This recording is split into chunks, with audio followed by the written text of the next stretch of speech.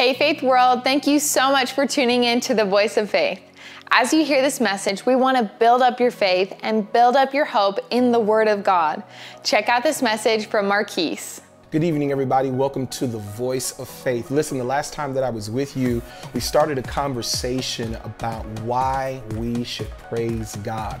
You might say, Marquis, that's very Sunday school ish, but I'm telling you, man, a lot of people, if they're not careful, we can get away from it and drift. Life can come and happen and just, you know, totally push us away from what is priority. But we talked about some of the reasons why we should praise God. Number one, that the Word of God instructs us according to Psalm 150. We talked about praise being a vital part of a surrendered life to God and giving credit to where credit is due, according to Psalm 107 and 8.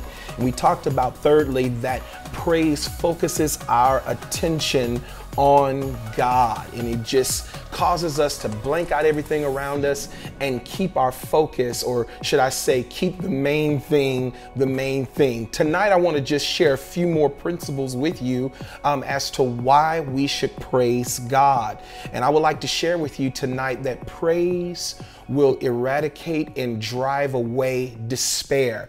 If we could just categorize just this past year and a half, I think the world would really lean towards saying that this has been a year of despair, so many deaths and so many things going on around us that they would just just totally settle for, oh, we're in hopeless and utter despair. But that is not the case for the child of God. That is not the case for the believer. And when we give ourselves over to the praising and worshiping of God, it will drive that away. There's no better way uh, to beat the blues, as the world would sing, uh, than to change our focus from ourselves to God.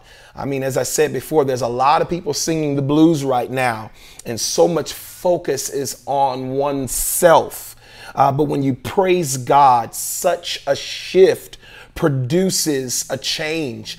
And as Isaiah 61 and 3 tells us, the oil of gladness instead of mourning. He gives us, rather, the oil of gladness instead of mourning. And if you have studied anything about Jewish history, anytime um, they would be in a time of mourning, um, oil was a um, it was a luxury in a sense. Um, it it moisturize their skin. Oil was often given to guests and visitors when they would come to homes because many of the geographical locations were very um, sandy and a lot of dirt. So they would give oil to just replenish themselves. But anytime the Jewish culture they got it over into mourning or something catastrophic happened, they would refrain from putting oil on and instead they would put ashes upon themselves to really drive home the point that things are not well. But when things would change, change, they would stop mourning, they would take off the, um, the ash, and they would put on uh, oil to symbolize that things have shifted now, things are better.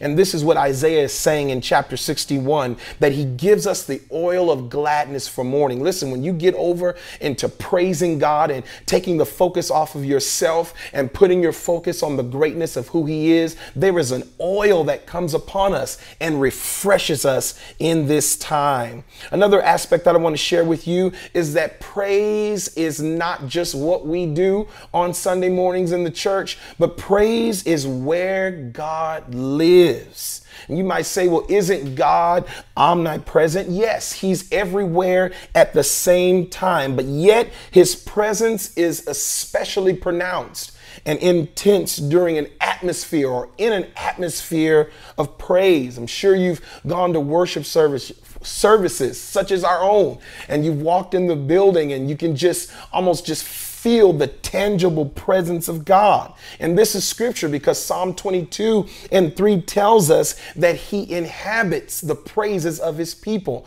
The scripture says that he is enthroned amongst the praises of his people. You can't praise God and not have God show up. Another principle that I want to share with you is that praise facilitates access to God. Yes, access to God. Now, obviously, it is the blood of Jesus that has paved the way for our forgiveness from sin and a relationship with God, according to Hebrews 10 and 19. But with that being said, our lifestyle, which is an ornament to our life, provides a clear passageway to him. How do I know that? Psalm 104 tells us, therefore, enter his gates, not with complaining, not with murmuring, not focus on everything that's going wrong, but he says, enter into his gates with thanksgiving and into his courts with praise. It goes on to say, be thankful unto him and bless his name. Now, let me give you a transparent moment. There's been times where I've had to fight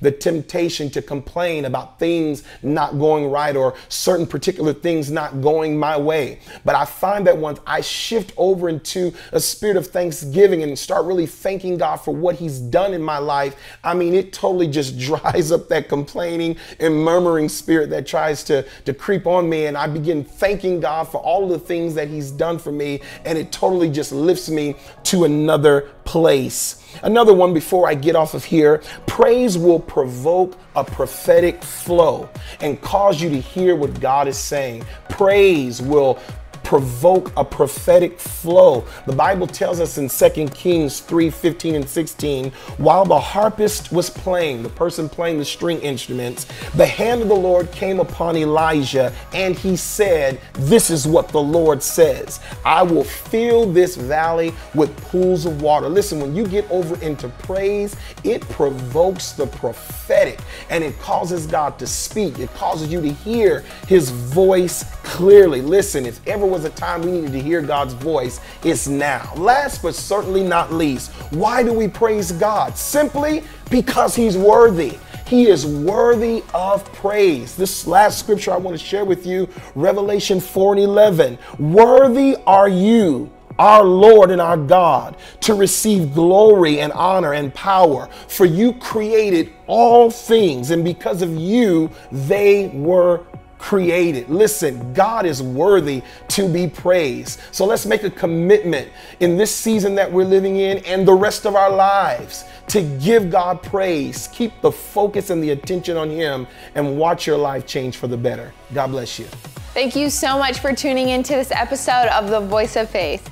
We believe that God is going to do some amazing things in your life. And before you go, we always want to give you an opportunity to give so that you can be blessed. The different ways that you can give are on the screen. Also, if you need prayer, we would love to pray with you. Just email, message, or call the church. Thank you so much for watching today and have a blessed week.